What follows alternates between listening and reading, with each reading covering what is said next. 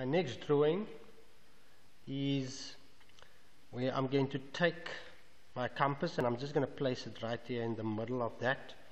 And I'm going to draw a circle around that there because I'm going to actually take that part out. And I'm going to place it here and I'm going to zoom in on it. So the scale here is 1 is to 50 but I'm going to zoom it in here to a scale 1 is to 20 which basically means that I have to go back to my drawing here. And I've got to look at my my um, incomplete foundation slab. And what I need to do is that I want to erase all of that uh, scaling to 1 is to 50 and now I'm going to scale it down to 1 is to 20 right so I'm going to take all these dimensions and scale it down to 1 is to 20 let's do that quickly. I have now scaled all my dimensions down to 1 is to 20 so the 320, uh, 230 divided by 20 gives me uh, 11 point something which I rounded off to 12 the 500 divided by 20 gives me 25 400 to 20 700 to 35 250 to 13 and 500 to 25 now I'm going to take all of those dimensions and draw here.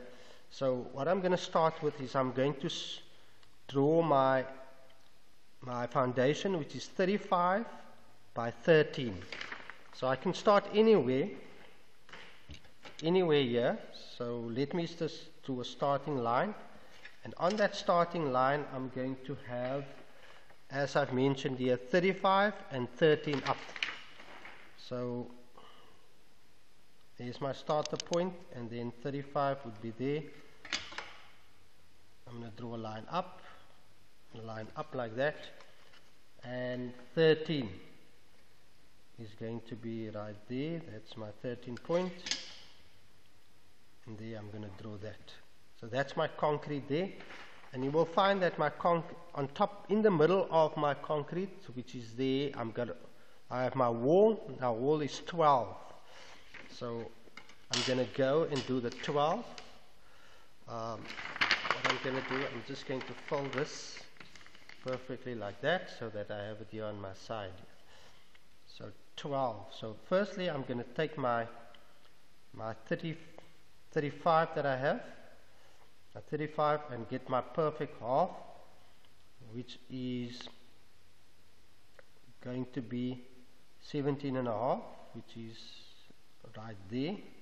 And then once I have my half I'm going to take my wall which is 12 and do 6 on the one side and 6 on the other side. 6 on this side and 6 on that side gives me a perfect 12 which is there. Now I'm going to draw my wall right up. Um, I can take it even a little bit more. Right. And then to get to my natural ground level I've got to measure from the bottom 25 up. So from my uh, bottom of my concrete 25 so there's my 25 and I'm going to draw that there and that there. So before I go any further let me darken some of my things. So there's my concrete block that I have.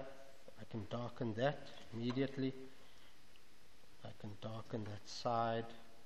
That's my concrete that I have there. I'm not going to darken my wall yet.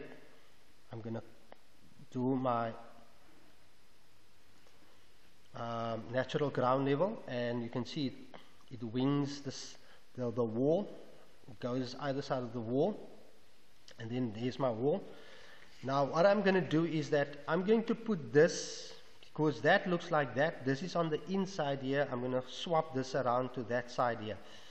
But I'm going to use the measurements 500 to the top, top and 400 creates my my um, concrete slab that goes halfway into the wall so from the top of my from the top of my of my concrete slab 500 which is 25 So I'm going to go 25, which is there.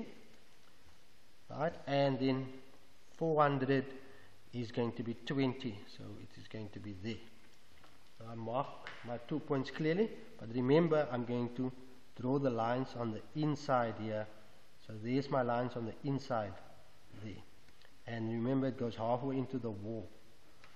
So halfway into the wall is probably there. So I'm going to cut it off right there. So I'm going to darken that as well. That's my slab. Halfway into the wall. And there my slab goes. That way. And that way. It goes. Now, um, I know for a fact that my DPC is on top, so I'm going to have a thick line just on top, on top there. That's my DPC. I will write here on the side here in GL, and that's going to be my DPC. Those two are very important to label. Alright, and then from here, the height which I'm going to prescribe to you is going to be the normal height of a wall which is in reality 2 meter 500 2 meter 500 which is 2500 divided by 20 and that gives us 125 so from here from here I'm going to have 125 which is going to be right there. I'm going to mark it off there. And that's where I'm going to chop off my my wall. And then I'm going to bring my wall down dark. The outside first right down till the concrete and then right down till there and then the other side of my concrete um, this I can stop here. That doesn't have to go further. That means it continues that way. Um, I will now have my different symbols in here. Remember that is going to be 125 from this point over there. My concrete will have this symbol dots triangles in there and that is going to be dots and triangles in there as well. My compacted hardcore is going to be line up, line down, it's a zigzag line up. That's a symbol for compacted hardcore. That's the a layer underneath which has been compacted so that my concrete can lay firmly on it. Okay, and then I'm going to do my soil here. One, two, three, like I said, and then one, two, three. The same here. One, two, three, and turn. One, two, three. Okay, and then we are going to put in the hatching for the wall, two lines, gap, two lines, gap.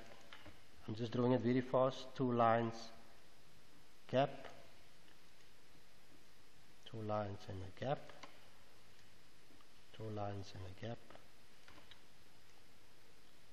two lines a gap, and then lastly two lines and a gap there. And then lastly here is a one millimeter on top. That's my screed.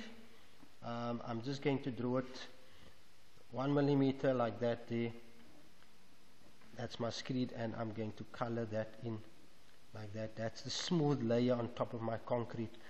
Here it's not uh, evident because it's so small that you won't be able to see it. It will just be a thick line. But here you are able to see it so you can just color it in like that. Alright um, and that basically concludes your section view. It is very important to label it. So you're going to print it here. Um, section through oh my spelling is incorrect here. Sorry. Let me just go do that again. Section. There we go. Through a load bearing wall. And then you're going to print the scale there as well which is 1 is to 20 okay? So I've just drawn it roughly but you will be able to do it perfectly if you follow the video. Thank you